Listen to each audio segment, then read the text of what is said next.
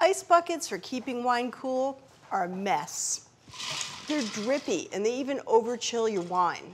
We tested six innovative wine coolers that use no ice. They range in price from $14 to $55. We chilled two dozen bottles of wine to the same temperature and started testing, both with full bottles of wine and ones where we periodically poured off a glass, all the while tracking the temperatures. Now, some of these were terrible.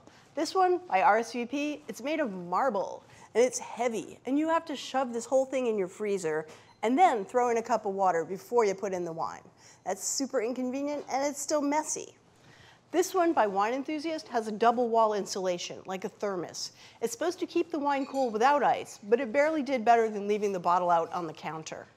This one's our winner. You slide in these little freezer packs, the insert, stick in your wine, and you're done.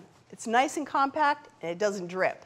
And it kept wine within 10 degrees of its starting temperature for more than seven full hours.